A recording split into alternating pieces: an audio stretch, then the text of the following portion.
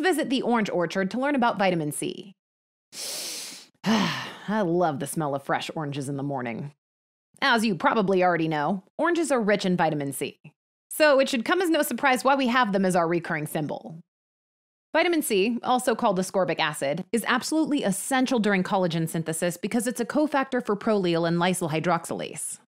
These enzymes add hydroxyl groups to proline and lysine residues of procollagen chains. The pest control Pro using an OH net to catch a lysine lizard will help you remember that hydroxylation of proline and lysine requires vitamin C. The products, hydroxyproline and hydroxylysine, help stabilize the triple helix to allow for effective collagen cross-linking. Without vitamin C, we produced effective low tensile strength collagen, and this causes all sorts of clinical problems, which we'll talk about soon. We've made these orange tree trunks look like triple helices to remind you that vitamin C is necessary for creating a stable collagen triple helix. Please check out our collagen synthesis sketch to learn how collagen is made if you haven't already.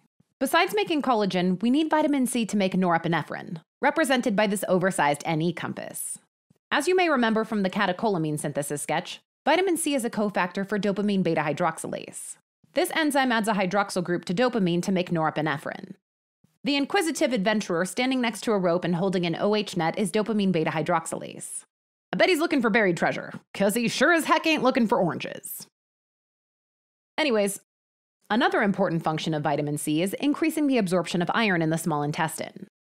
Vitamin C acts as a reducing agent to convert iron from its insoluble form, Fe3, to its soluble form, Fe2, so it can be readily absorbed.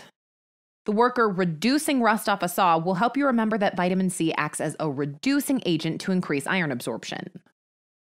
Vitamin C is also used in the treatment of methemoglobinemia, a blood disorder that causes tissue hypoxia. Methemoglobin is an altered form of hemoglobin where iron has been oxidized to the ferric state, or Fe3.